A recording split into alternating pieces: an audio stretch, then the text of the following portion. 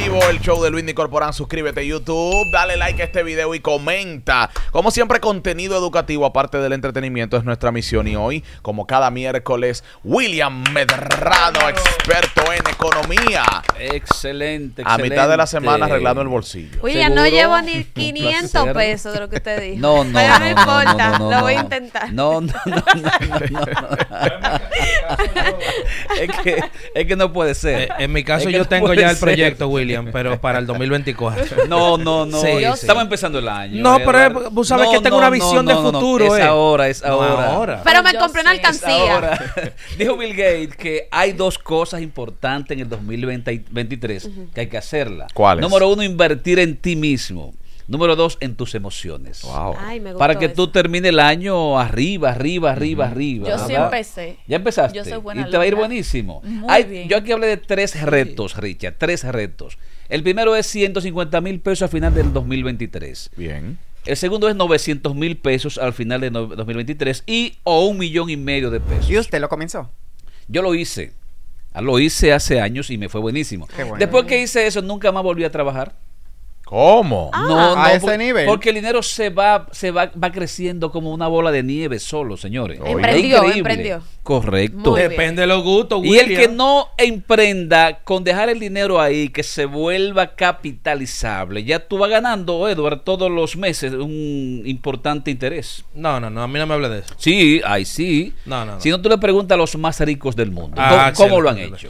Eh, Por ejemplo, hay, un hombre que tiene oh, 98 mil millones de dólares. Pregúntame Casi nada. cuándo él empezó a hacer eso. ¿Cuándo? A los 21 años. Wow. Y pregúntame eh, cuándo obtuvo él más de la mitad de ese dinero. A De- los de- 80. a los 85 años. Ay. ¿Por qué? Porque Wow. lo puso en dinero capitalizable, es decir, interés compuesto. O sea, el dinero se va creciendo solo, señores. Yo tengo una cuenta bancaria que abrí hace como 14, a ver, hace ya 18 años, con Uy. 20 mil pesos. ¿Y por dónde va? Cuando yo fui a preguntarle, Responde. cuando yo fui a preguntarle al gerente en estos días, No importan las cifras, el que- ejemplo. no, pero es verdad, lo, lo llamo, dice, mire, don Williams, usted puede comprarse con ese dinero ya un apartamento. Le dijo Ah, Doña, bien. Porque, cambió. porque eh. eso, es- eso fue creciendo. Yo lo abrí ahí como para dejarlo ahí, es, ese Mm, dinero. Qué bien. Y eso fue creciendo solo. Porque el Pero- dinero- el dinero crece solo cuando tú lo pones en el banco y lo, y lo dejas tranquilo ahí. Mi amor, hace 14 años ya. Pero mi amor, el- lo importante es que la vida como quiera continúa. Ahora, los días van ahí. 20 mil pesos hace 14 años, estamos hablando de 200 ahora. Sí, pero ya eso está mucho 200. más de 200 mil pesos. Uy, vale. Porque eso va creciendo cada Pero mes. 200 mil pesos, muchachos, eso va muy No lejos, caso, William. nosotros le estamos haciendo caso a William. William, esta semana, como la pasada, yo sé que mucha gente tiene incógnitas y preguntas, pero me gustaría antes de recibir muchas llamadas, ¿qué trae William a la mesa para nosotros degustar? Mira, estamos en un país que la gente quiere crecer, quiere prosperar. Este 2023 quieren salir de deudas. Y tengo un tema que se llama dinero buscando dueño. Sí. Pues yo Dinero buscando dueño. Mira qué sucede. La OMS ha dicho en más de una ocasión que salud es estar en bienestar, tanto físico, mental como emocional, y que no solamente es eh, falta de, de afecciones físicas lo que es salud, es también tener un manejo financiero eficiente. La gente que vive hoy bajo desorden económico tiene estrés. El estrés dispara lo que le llaman los médicos el cortisol. Sí. El cortisol te dispara a ti la glicemia. La glicemia te lleva a convertirte en diabético. Si eres diabético te vuelve colérico, te vuelve iracundo, te vuelve odioso, te vuelve amargado. Si te vas metiendo en años, también te vuelve un viejo o una vieja gruñona. Ay, Ay, no ay, te ay. soporta nadie. Y cuando, te, cuando, cuando buscan a ver qué es lo que te está pasando, Edward, es que tú tienes un desorden financiero que ni siquiera puedes dormir tranquilo. Señores, el que no tiene una amistad linda con las finanzas, ni duerme tranquilo, se vuelve anoréxico o se vuelve eh, glotón y se pone gordo, se pone obeso. Señores, y aquí hay una estadística en nuestro país que, que la obesidad está eh, acaparando casi un 21% de la población dominicana. La obesidad. Y el que tiene desorden económico también se vuelve obeso. Cuando tú no, cuando tú no puedes dormir de noche, ¿qué tú haces? Te vas a la nevera a buscar qué hay ahí. Y empieza a calentar. Leche No, no. caliente. Señores, pero no, eh, No, no, Una no. taza de leche caliente es lo que me tomo. No, para no. dormir. Eso te Cuando puede uno- hacer dormir cuando tiene insomnio. Pero hay Es otro después que- de eso, Richard. Exactamente, sí, sí. Exacto. Después, Sí. después que te No, tomaste no, la taza no, de no, leche no, caliente. no, no, no. después de eso. Es después de sí, eso. Sí, sí. No, William, no se deje Sí, llevar sí. Está bien, William. ¿Cómo Sí, busco el sí. dinero, William? Enfóquese. Usted dice que hay unos Eh. cuartos por ahí buscando gente.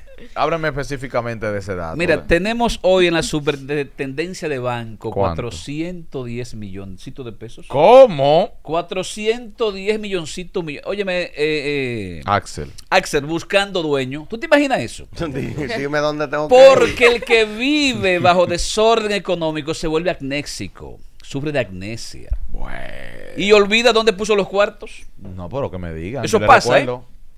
William, pero... Hay tres razones. Porque la- Dime, Richard. No, eh, eh, me imagino que usted se refiere a lo de la Junta Monetaria o al del Banco Central que emitió, diríamos, para que prestaran dinero. El 80% estaría destinado supuestamente para apartamentos Ajá. o para nuevas viviendas y el otro 20% me imagino que las empresas... No. Ese es otro tema que traeremos después. Ah, yo pensé que era ese que usted se No, refiere. es un dinero que la gente que vive bajo desorden económico, desorden financiero, ha dejado abandonado en los bancos. Pero es que un desorden financiero. Ay, Dios. Oh. Sí, hay gente que vive en, tan, eh, eh, en un estrés tan fuerte no saben. económico que no saben ni lo que hacen. O se van a una asociación de, de- de- de- de ahorros y abren cuenta, o se van a un banco y abren cuenta, o se van a una cooperativa y abren cuenta, o se van a una financiera y abren cuenta, y después se olvidan, a veces salen del país, no regresan por alguna situación, y cuando vuelven, y, y se les olvida dónde abrieron cuenta. Hay gente que abre muchas cuentas bancarias, que es un desorden, ¿eh? Abrir más de dos cuentas bancarias, a menos que usted no sea empresario, usted está cometiendo un desorden. Usted está afectando directamente sus bolsillos. Usted está dañando sus bolsillos.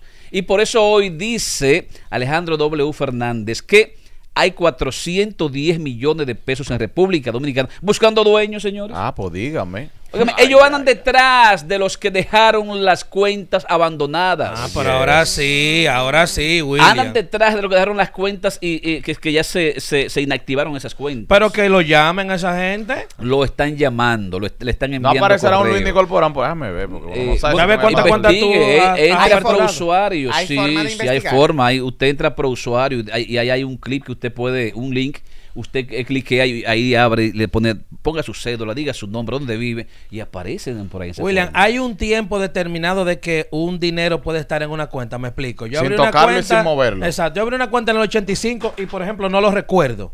En el 85. Por ejemplo, un, un lo perdí- ejemplo. lo perdí. O sea, hay un tiempo de que se Sí, pierde el dinero. Sí, sí. Mira, si tú abres una cuenta en cualquier banco de este país o asociación y pasaron tres años y tú ni ahorraste más ni fuiste a buscar, ese dinero se convierte en una cuenta inactiva. Tú no lo pierdes todavía, pero se convierte en, un- en dinero inactivo. Para tú volver a buscar ese dinero, necesitas hacer un procedimiento con tu oficial de cuenta en ese banco. Son tres años. Pero si pasaron diez años, como es lo que está pasando hoy en la superintendencia de bancos, que hicieron esa, ese análisis y buscaron cuánto había, entonces, señor, se va a una cuenta global. Oh. Y ya tú ese dinero no puedes disponer de él de manera muy fácil, porque pasaron 10 años sin moverlo. Entonces, ¿qué tienes tú que hacer? Venir, ir al Banco Central y hacer un procedimiento legal para tú reclamar un dinero que tú abandonaste por alguna razón de la vida. Ahora que usted lo dice, yo más pequeña, no creo que fue una asociación que empezó una campaña para que los niños abrieran libretas de ahorro. Sí. Para ese tiempo yo abrí una, mil pesos, pero eso hace Cuando Cuca bailaba. Exactamente, o sea, de ese dinero yo no sé. Olvídate Si tengo la tarjeta, esos mil pesos. esos mil pesos crecieron, están iguales. No, no, ahorita le ¿O debe ya al banco. En el cicla por Ya que están buscando dueños. No, si hace más de 20 años lo perdiste ya. Ay, sí, ¿Sabes? pues fue Porque- más- yo creo que fue Porque entonces hay una cuenta en el Pero Banco mil Central. pesos, Yarisa, toma. Pero mi amor, no, pero eso ah, fue cuando yo tenía como Dios. que ocho años, mi hijo. ¿Y qué Pero te es verdad, pasa? Ah, ah, pues no hace 20 años entonces de esos. Y le Mira esto como me se insulta por mil pesos. no. Pero, ¿verdad? Yo abrí, una, yo abrí una en el C Reserva cuando niño, pero sé que no existe porque yo no tienen ese sistema del Banco de. Reserva, ¿no? No, y si pasaron 20 años ya como quiera la ley monetaria te dice que tú ese dinero lo Sí. perdiste. Ah, porque wow. el Banco Central tiene una cuenta de contingencia. Ok.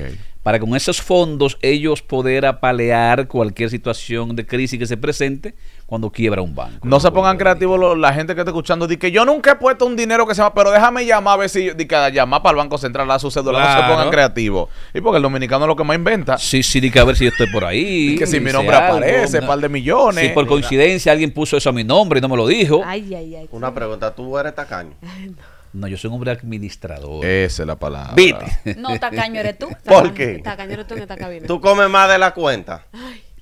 Por ejemplo, si tú dices, yo voy a salir, voy a gastar 1.500 pesos. Ajá. Y no se te va la mano y que con un 500 más o, o 1.000 pesos más. Hay momentos que sí, que eso se puede dar. Pero entonces, ¿qué tú haces luego que ya tú te excediste hoy? Mañana, pues tú te controlas. Exacto. Y lo que, lo que gastaste hoy de más, pues otro día tú no lo gastas. Claro. William, eh, eh, la propina, el dominicano, eh, donde quiera que uno llega, pide mucho. eh. Mi patrón, mi papá. Sí, Eso sí, económicamente desbalancea a una persona, el propinado. Hay que tener también control sobre lo que tú vas a regalar. ¿Cómo se maneja la propina? repartir. Sí, porque usted tiene cara de patrón. No lo ¿A ven. le dice, Don William. Es, por los auriculares. que Don. William le dice. amor, Esa parte ahí. Mi papá, William, estamos aquí, que lo que lo Yo- va a lavar. William, yo conozco gente que dice que dicen porque ahora por ley te cobran la propina. Sí, Sí, sí. Pero sí, hay sí. gente adicional a eso que dice, no, si yo gasté 5 mil, yo doy el 10% de propina, eh, aparte de lo que, que me son cobran. 500 pesos. 500 pesos. Mira, si tú vas a Estados Unidos, si tú vas a Europa, tú vas a cualquier país de Latino de Centroamérica, también te cobran la propina aparte. Sí. Y allí te la obligan, allí te obligan a que, a que tú des la propina. Et- yo, yo estuve eh, en el mes de, de, de septiembre en Estados Unidos y fui a un restaurante allá. Y la propina eh, fue, fue exigida. No, no son tantos de propina que usted tiene que dar. ¿Qué? Sí, sí, allí, allí te la exigen. ¿A dónde fue eso? Eso ¿A qué no fue-? Ah, yo no nunca. Sí, no, pero barrio allí también. cualquier restaurante la exige. Claro. El camarero que te atiende, si tú si ve que tú no le das propina, te mira mal. Te trata malísimo. O sea, aquí en República Dominicana no te pasa eso, pero si tú acostumbras a ir frecuentemente a un lugar, señores, Tienen que darle su cariño. a ese que te está atendiendo a ti hoy, déjale una propina buena. Pero yo no frecuento. Para cuando yo tú vuelvas. Pero Pero como, quiera- cuando como quiera debes dar una propina. ¿Tú no das propina? Sí. Una de las características. Tímida, tímida. Una tímida. Una de las características de un hombre próspero, mujer próspera, es aprender a repartir, aprender Ey. a dar, ser agradecido, mostrar gratitud. ¿Y cómo tú muestras gratitud? Dando de lo que tienes, devolviendo algo de lo que tú tienes. Claro. O sea, la propina hay que darla. Si tú, hay una que es de ley, perfecto. Es- Eso, eso a veces al restaurante no se la da a, a los camareros. ¿Cómo? O sea, la tuya, No, no se la dan. la que es en efectivo, dásela. Tú no si sabes si- si tú si le no puedes un ayudando a 10, su dale un 5, perdón. Que Pero no mira. sabes si ese día le está ayudando para completar un pasaje para poder llegar a su Es casa. O correcto. sea, y, mucho más perdón a los eh, a los camareros que lo- los camareros el, el sueldo es malo Sí. y ellos básicamente viven de las propinas que le dejan los clientes por eso es muy bueno que uno cuando va al restaurante Le dé su propina, claro. Pero a veces el sueldo de uno es malo también y no te da para bueno, pagar. pero ¿qué hace tú en un restaurante? un día que se quiere dar un gusto, Bueno, cumplo pues tú das. La Claro. mujer mía cumpleaños, digo, vamos para allá. Pero Ese déjame decirte ir dispuesto Tú vas a Boca. Chica y compras un pescado, Ajá. dos mil pesos. Ellos te cobran más el ITEVI que, que lo que cuesta el pescado. Pero en Boca Chica, y tú Y- pagas en Boca En Chica. Boca hay unos creativos, sí. Ahí te Sí. cobran todo, Sí, more. ellos hay gente que un creativa, 18 en sí. una- Y nosotros discutimos uno una vez que, que la cuenta hizo como 11 mil pesos. ¿Y tú sabes cuánto nos la dejan? En 7 mil. Porque nosotros discutimos. Ya tú sabes, todo eso era por y ahí. eso es lo que tú tienes era- con... y Y, eran- y a Boca Chica, sentarse frente a la playa en una silla plástica rota, ¿eso es concepto para ti de restaurante? Claro. Es un ejemplo. Para llevar a su los días. a todos los lados. Pero a ti hay que darte. Tú no puedes, ninguno de los que están aquí salen más que yo a lugares clásicos. Ah, Ah, me invitan, me invitan porque yo no gasto casi, pero no, no se comparen. Pero con- oiga, ¿dónde que va lo clásico de él? No, pero es su clásico. y Boca Chica es malo. Atrévete a decirlo para que te caliente con la gente de William, eh, yo quiero ahora mismo, tengo ejemplo, 100 mil pesos, si necesito abrir una cuenta, pero 100 mil pesos que yo no le voy a poner en la mano por lo menos en 5 años. Sí. Lo correcto es abrir la cuenta de qué tipo, que usted lo dijo la semana pasada, pero para el que no escuchó. O una cuenta, ¿no? o una cuenta o un certificado, ¿cómo? Si tú vas a abrir una cuenta con 100 mil que no va a tocar por 5 años, abre un certificado financiero y ponlo capitalizable. Hay un ejemplo de un padre que le dijo a un niño, mira, él, él cumplió 18 años y tuvo su primer empleo. Y él iba a ganar 300 dólares semanales, eso fue en Estados Unidos. Y él dijo, si tú me regalas esos 300 dólares, no, él iba a ganar 500. Si- Dice el padre, si tú me regalas esos 300 dólares, De los 500. yo te prometo que cuando tú cumplas 30 años, te voy a, a- a volver un hombre rico. Wow. Y le dijo, ¿cómo va a ser, papi? Mira, porque mira, que yo lo voy a ir llevando a un certificado capitalizable. Eso va a generar interés compuesto. Cuando tú tengas ya 30 años, lo que tú me estás dando semanal se va a convertir en un millón y medio de dólares. Porque si tú dejas 500, 100 mil pesos hoy, que te pueden pagar aproximadamente un 7%, y tú dejas que eso se vaya capitalizando, hacemos aquí una operación matemática que hoy no la vamos a hacer, y eso te va a generar posiblemente en 5 años un crecimiento de más de un 500%. Wow. Para el que está escuchando Porque que el quiere... dinero va pariendo. Que hay mucha gente que tiene dinero, William, y no sabe qué hacer. O sea, como no compró un apartamento, tiene un buen carro, lo que hace es que lo guarda en una cuenta y no, Exacto. y no sabe qué hacer. Un certificado obviamente no te permite ir a buscarlo cuando tú quieras, porque Ajá. ya tú le pones un tiempo a eso. Ahora, si tú abres también, aquí decíamos en estos días que hay cuentas que te pagan y esa cuenta sí es, de- es- es- tú, tú puedes ir a buscar cuando tú quieras ese dinero. Pero es muy mínima la, te el está pagando hasta un 4, hasta un 5%, 5.5%. Anual. Hay, no, no, exactamente. sí. Hay bancos Anual. que te pagan por una cuenta de estas que, te pagan hasta un 5.5% anual. Anual. Pero eso te lo dan mensual. Ajá. Te- la proporción te la dan mensual. Ok. Sí, esa En este ahí. caso, William, de personas que usan tarjeta de crédito con la teoría de que yo me organizo bien con la tarjeta para no gastar el efectivo, pero cuando hay que pagar algo en efectivo, entonces ellos te dicen, págalo tú, que yo te lo deposito. o sea, el que anda nada más con tarjeta es más organizado o es una, Un o es una, un o es una estrategia para usted no poner lo que es. Las dos cosas. Cuidado. Las dos cosas. Eh, porque puede ser, depende. Ahora, si tú siempre andas con una persona que te dice págalo tú y yo te lo pago después. Y no ya te lo pone. No salga más con él. Pero que porque usted no anda con efectivo. Pero Por está eso. bien, pero si él es, si él tiene ese tipo de, de- de actitud maliciosa, pues ya no salga más con él. O no pague más por él nunca, nunca más, ya no pague más por Que él. yo lo quiero mucho. Ahora, si él te pagó, pues no importa que tú pagues tú. Pero está bien, pero que porque ustedes nada más dicen, no, que yo no mando con Ahora, tarjeta. hay un beneficio que tiene el que usa la tarjeta de crédito y hace esto, eh, eh, eh, Edward.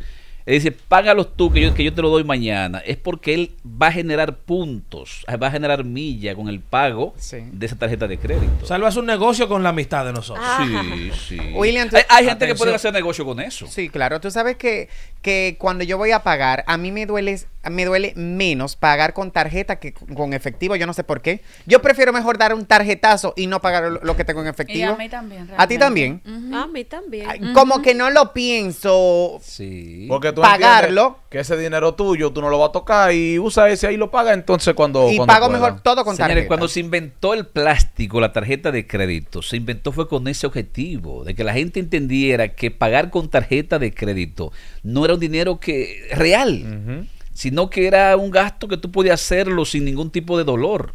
Y cuando se- eh, eso se hizo eh, eh, en, en- en- en un campo de Estados Unidos, eso la gente se volvió loca y empezó a gastar. Ahí fue que se empezó. Oye, ellos empezaron, óyeme esto, con 60 mil personas, una- como una prueba de poner en práctica el dinero plástico. Y esto causó que la gente se volviera loco, porque dijeron, bueno, estoy subiendo de nivel, estoy Sí, creciendo, esto me estoy convirtiendo en más rico, clase media, clase, clase alta. Y la gente se lleva de emoción y consume más con tarjeta de crédito. Por eso están los desórdenes financieros más Pero tarde. eso es malo o eso es bueno.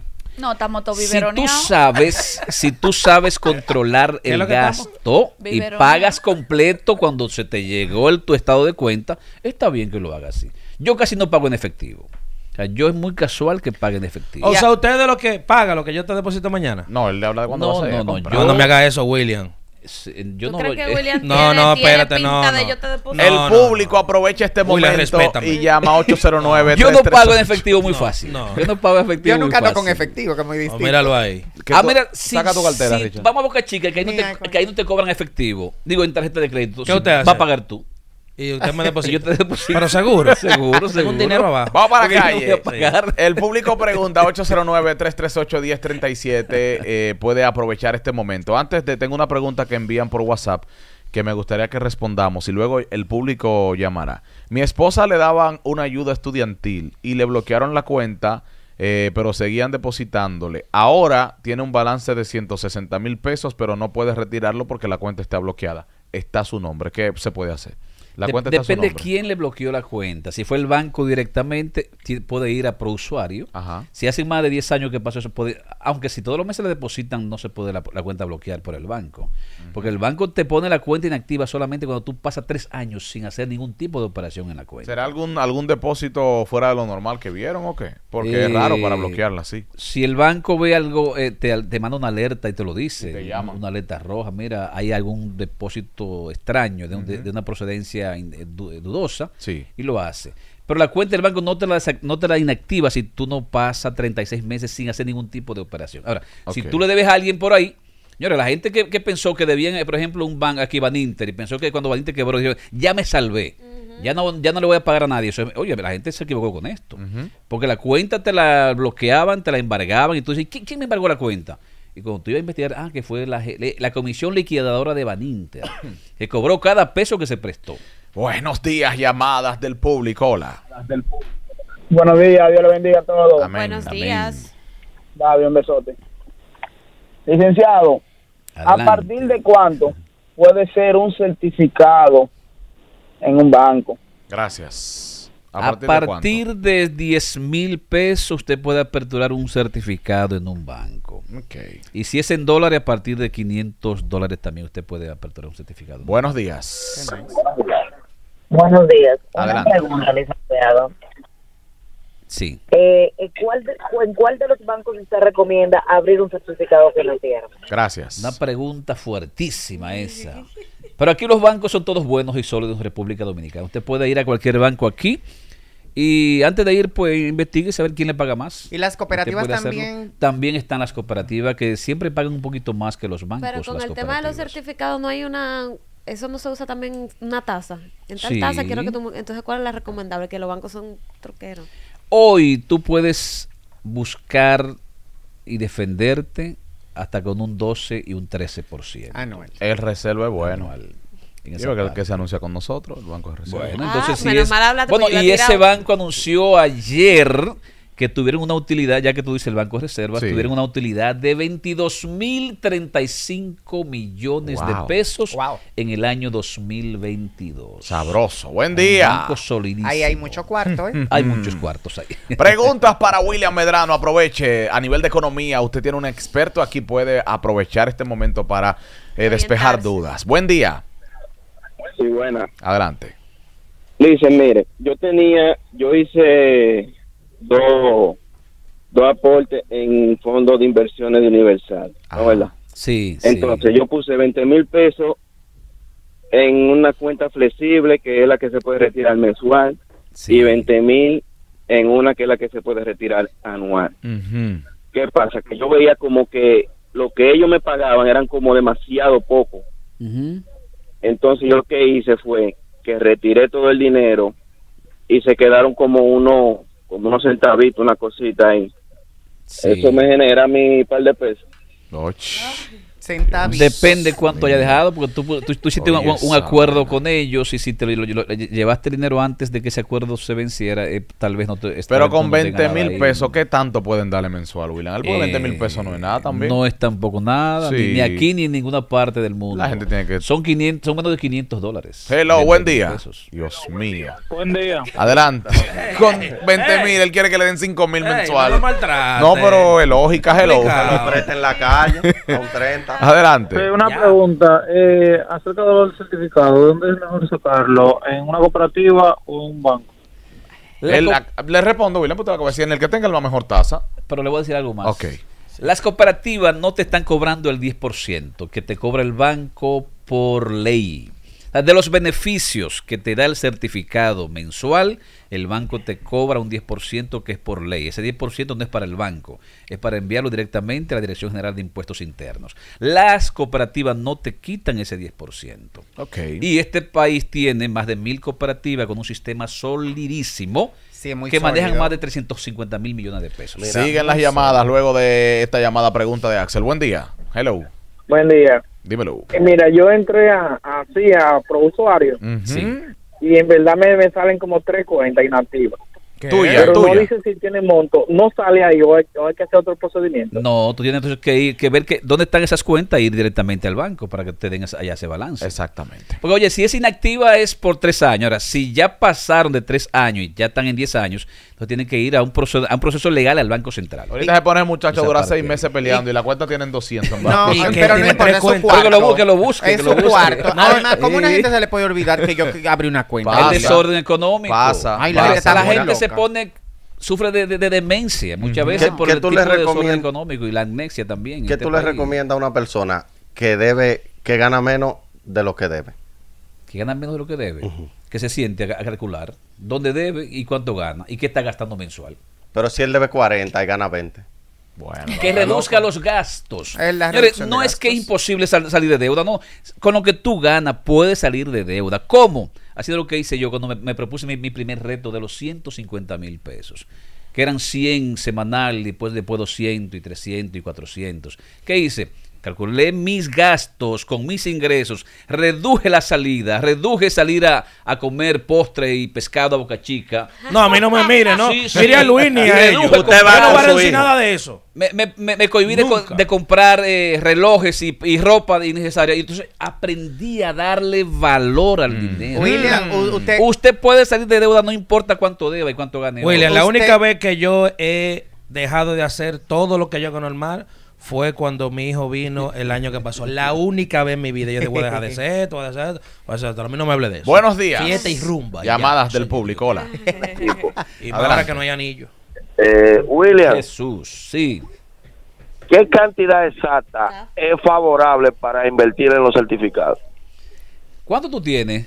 Ya, se fue. Se fue. Sí. Porque era bueno saber cuánto él tenía. Ok. Porque desde 10 mil tú puedes invertir eh, 10 mil pesos, pero recuerda, Sí. 10 mil pesos no te va a generar con que tú compraste una menta hall eh, a final de mes. Una Ahora, de si guardia, tú ni tienes por ahí dinero ocioso, regado en diferentes partes, reúnelo todos y habrá un buen certificado financiero. William, le, le iba a preguntar, ¿usted recomienda los sanes, esos sanes caseros que uno hace? Por ejemplo, aquí yo quiero armar uno, yo voy a hacer el número uno. Aquí no se arma. Bueno, pero regularmente se a hace ser uno. Pero, yo voy a hace- hacer uno, ¿eh? Tú a sabes. uno ya. Él dio la idea y cogió el primer número. Mátense Vamos a hacer si tú vas a armar uno aquí, yo, te voy a dar mi opinión.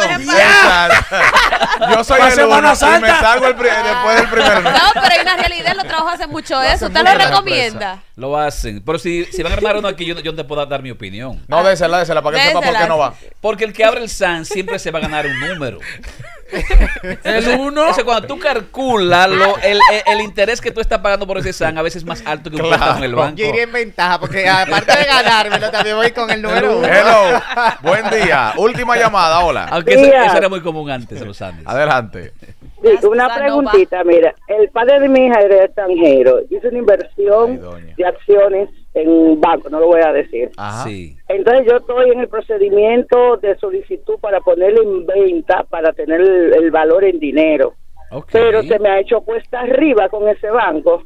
Hmm. No, no, pero usted puede. Escríbanos a nosotros, a, a Momentum, William Medrano, y ahí le vamos a indicar cómo hacer el procedimiento para que usted venda sus acciones, que la puede vender cuando usted quiera. Sí, que a veces por desconocimiento y también la misma gente que da en servicio al cliente en las entidades bancarias a veces ni manejan la información manejan la bien. información. Y lo que hacen es confundir al ese público. otro tema que tenemos acá, los secretos que los bancos no le interesa que tú conozcas. Que ahí está eso que tú acabas de decir, Luis. Hello. Última. Esta sí es la última. Buen día.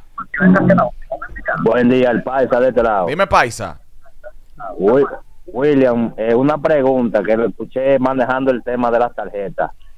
La mayoría de los bancos, cuando te otorgan un plástico, te cobran un seguro, pero ese seguro mm, yo no lo veo que te lo dan en el contrato que te dan ni en la llamada grabada.